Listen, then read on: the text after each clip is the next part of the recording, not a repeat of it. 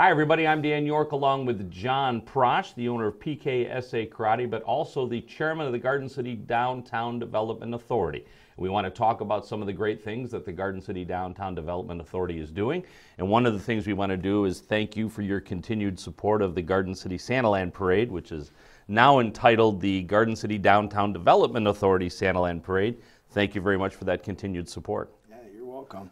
Well, our pleasure. We, we um, you know, being in the downtown and right centralized there, uh, it, it's great fit for you know the DDA to sponsor, and for it's great for the event too, right? Keeps it going. So.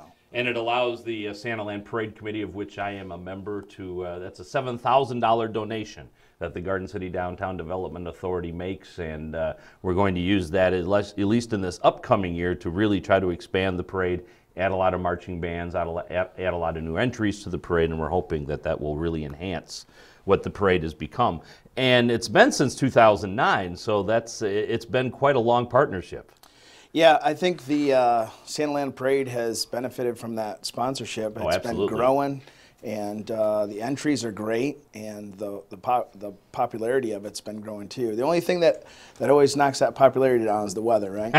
Absolutely, we had an off year this last year yeah. because of all the rain, but uh, still, you know, there were still nearly hundred entries in the parade, and there were thousands of people out there that came out. It stopped raining just in time for the parade, uh, but but thousands of people still came out for the parade, and it was great. Yeah. Well, yeah, awesome. Let's talk about some of the other things that the Garden City Downtown Development Authority does, and let's back up just a tad, sure. so people understand what the Downtown Development Authority is, because they hear it, they see DDA, but they don't necessarily know what the function is or how it even came to exist. Yeah, so the Downtown Development Authority was formulated, I believe, in '84. Mm-hmm. And our, our number one uh, project there is to enhance the downtown in any way we can under the guidance of the tax increment financing program. Okay. Which means business taxes, a uh, portion of that goes back to uh, the funding of the DDA to promote the downtown, to enhance its appearance, and to recruit and develop business growth and uh, retention. Sure.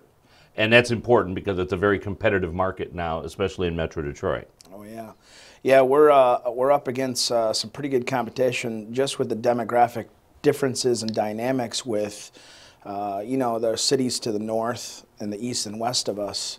So this helps us, you know, to promote Garden City in the, you know, because we're such a small town. Mm-hmm. It helps us to promote in a manner that we try to keep up with those bigger towns that are sure. around us. And and, and uh, everybody is so excited about things that are happening in downtown Detroit, but what sometimes people forget is that some of those businesses are coming from the suburbs. That's exactly and right. and some of the suburbs, even like Livonia, and some of the larger uh, suburbs that have been very successful financially and commercially are now struggling because a lot of those businesses, the hip thing to do is go downtown, and it's uh, the, we haven't really grown as a region.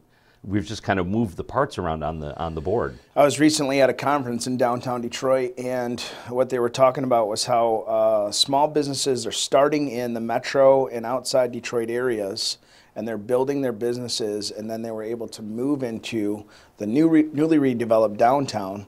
So yeah, it's exactly how you're saying. They're coming from the outside and they're moving in, uh, but we have to, as the outside and the metro, as as much as we're supporting downtown Detroit, we got to work to build what we have right. in the in the metro area too. In the metro area so. too. Now, when it comes to tax increment financing authority.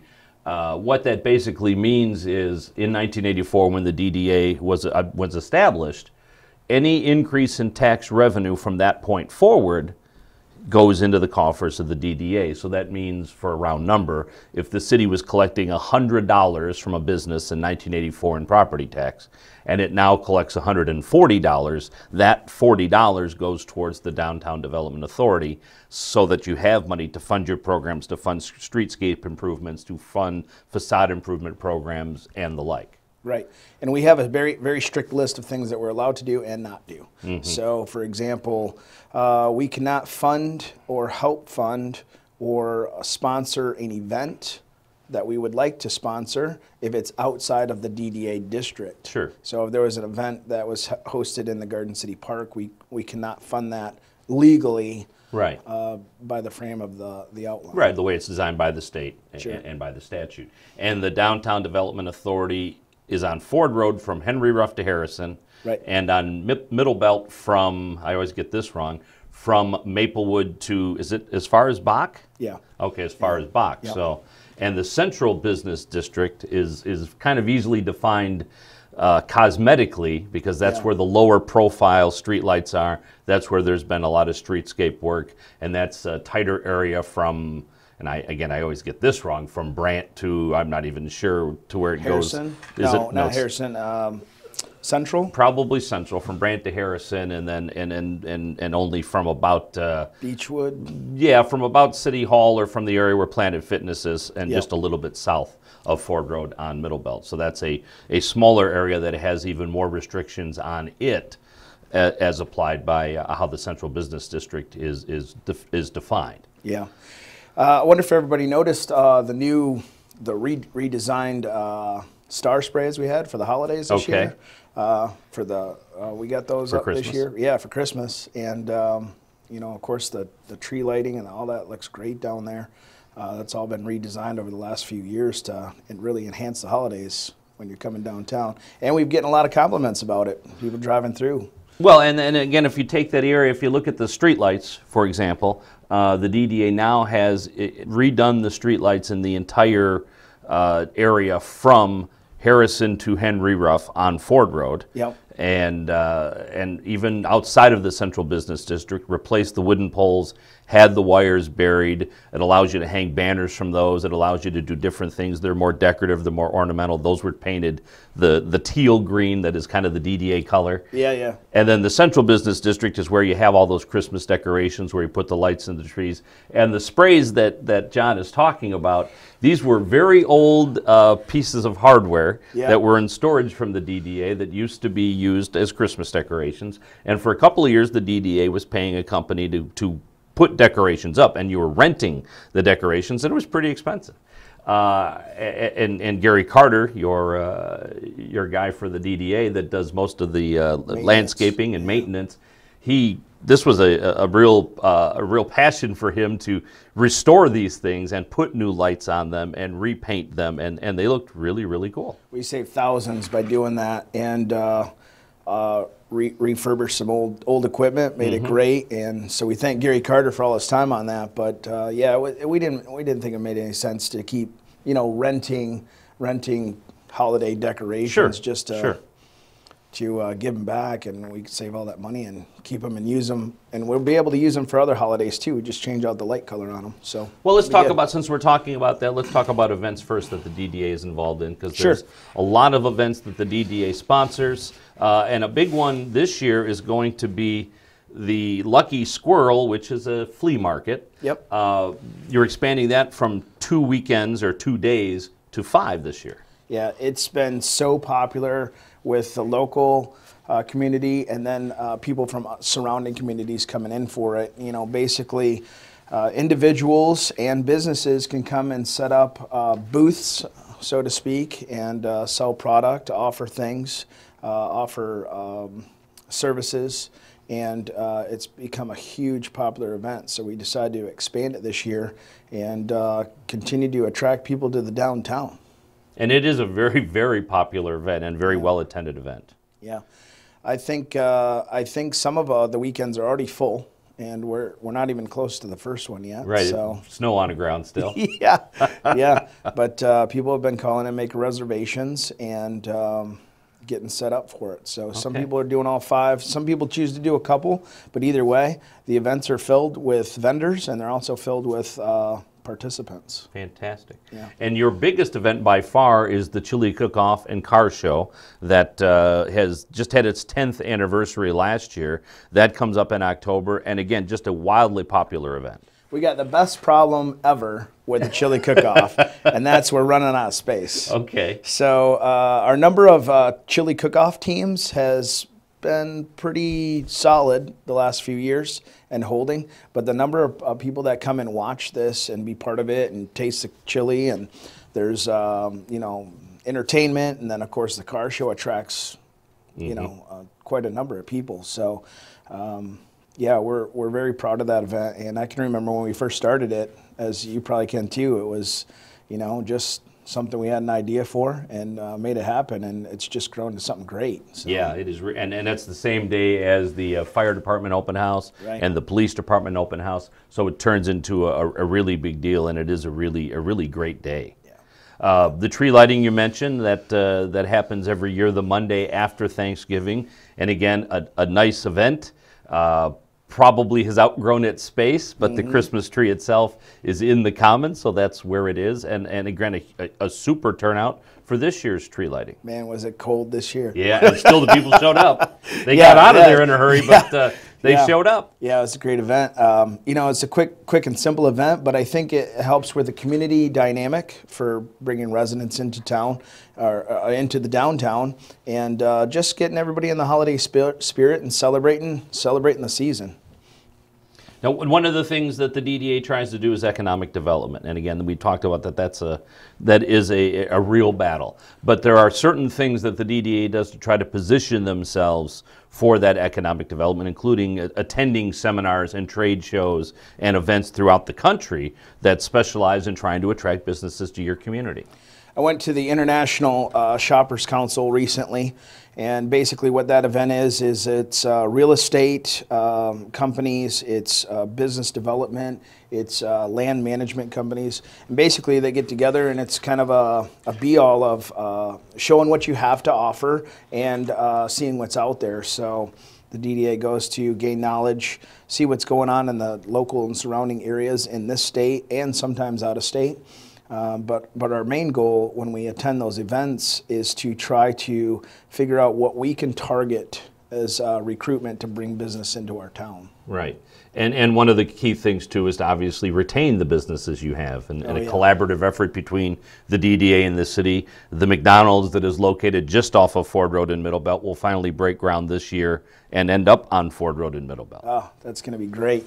Uh, yeah, the McDonald's is one of our uh, mainstays right downtown there, and uh, it's been there for years. And uh, we're very excited about them taking over and readjusting their building on that whole corner and making that whole Ford Ford Middlebelt intersection uh, enhanced. You know, because it's pretty run down. It's been there years, and. Uh, uh, so the city and the Downtown Development Authority and McDonald's have been working on this for quite a while. And the design of this building will be more attuned with what our downtown looks like rather than just a cookie cutter McDonald's. Yeah, the DDA was pretty adamant about making sure that they fell within the guidelines of what we wish to have as far as appearance and facade colors and things of that nature for the business. And uh, McDonald's gave a little pushback, but yeah, all in the end, uh, it was a great. It was a great uh, marriage between the businesses and the and the city, and uh, it's going to happen. So we're very excited about that. The former Alberts on the Alley property uh, is now in the hands of someone else, and it is being renovated and reworked again through the collaboration between the city and the DDA and the property owner to open that up into basically rental hall space. Yeah, banquet center, rental hall space. Uh, that's a big footprint in the downtown too, so we're excited to have that reoccupied. Yep, and then uh, Well, the, The- biggest footprint in the downtown, the former Kmart building, Oh, yeah. appears to be going in the direction of becoming an LA Fitness. yeah, uh, it's still in the works, uh, but that'll be great to have that that big that big space uh, reoccupied. Yeah, and then along with that, and then that Planet Fitness went in too. So, Right where Kroger was. Yep. So that's So- going well.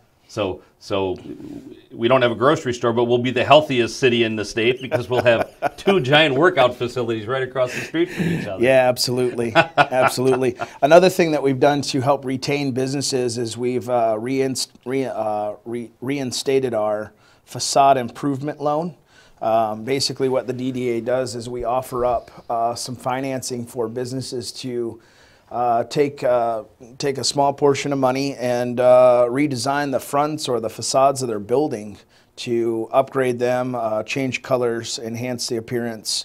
Uh, you know, to keep the downtown attractive, and, and we we do that for a couple of reasons. One is to promote that, so businesses will uh, want to do some upgrades, and then two is to try to keep them within the guidelines of the the color scheme and the the visual appearance that we like in the Right. area. So we've done that, and then um, we, we instated a new one uh, for signage grant. Uh, basically, if a business wants to upgrade their signage, uh, put new road sign out, new building sign, uh, a portion of that signage can be uh, paid for through a grant from the DDA as well. So we can get some upgraded and new signage as well. And through some creative financing, uh, one of the reasons the DDA was a little hamstrung financially for a little bit was the new streetlight project beyond the, uh, in, in what they call the gateway area. Uh, Detroit Edison worked with the DDA very closely and, and, and very creatively to allow those to be paid over three different fiscal years, even though that wasn't the, the way the DTE wanted to do it, but they wanted to get the job done, and, and the way to do that was to, to make those commitments over three fiscal years. But that meant that the DDA, DDA had a little less money for things like facade improvement programs. But it also is going to save us money over the long course too because it's LED lighting now. It's all upgraded, and um, it, it you know it looks great too. So Yeah, absolutely. Uh, and, and, and I don't know if this was part of the uh, facade improvement program or not, but one of the uh, sets of properties in Garden City that has kind of been an eyesore for a long time is the area in the Garden Plaza, I guess we'll call it, on Ford Road, west of Middle Belt, west of what used to be uh, Andrews Drugs.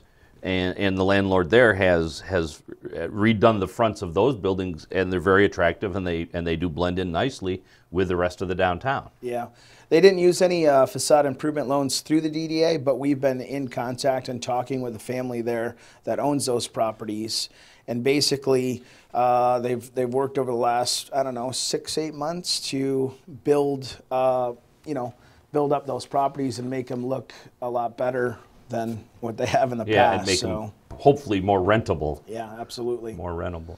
Um, Kim Dold is your director. Right. Teresa Manuel is your uh, assistant to the director, and, and these are the folks that work every day. The folks that are on the Gar- uh, the Downtown Development Authority, they are all volunteers. Correct. But uh, Kim Dold and Teresa, they are your their boots on the ground, if you will, your day to day people that, that run the office and, and run the Downtown Development Authority. They do a great job. Uh, they work very well together as a team, and they work very well with our board, our board of trustees, to uh, get get the tasks handled. And they're they're very timely, so we're very thankful for that. And they put in, uh, you know, when we have these like Lucky Squirrel events, they put in extra hours like most people wouldn't believe. So we're very thankful for them. They do a fantastic job.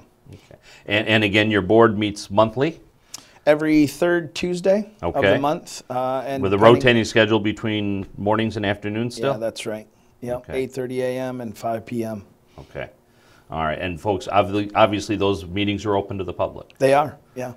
And DDA.com, GC, I'm sorry, GCDDA.com, GCDDA.com is their website, and uh, you can find information about them, find information about the things we spoke about here today, and, uh, and see what's upcoming in the Downtown Development Authority. Sounds great. Well, thank you again to you. Thank you to the entire board of the Garden City Downtown Development Authority for your continued support of the Garden City Santa Land Parade, the Downtown Garden City Santa Land Parade, or Garden City Downtown Development Authority Santa Land Parade that'll be coming up in November. That's a big deal, and uh, and we're again we're very happy to have you as a partner. Thank you. All right, thanks very much for watching. I'm Dan York. Good night, everybody.